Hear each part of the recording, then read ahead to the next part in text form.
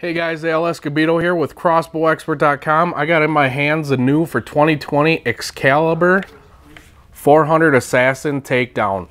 You're going to get the Pro Shot trigger, TACT 100 scope. It's going to come with four of the Pro Flight arrows, high performance, out of that micro platform, 400 feet per second, out of a micro front end, 20.5 inches tip to tip in the cock position, extremely compact, adjustable stock, adjustable cheek piece.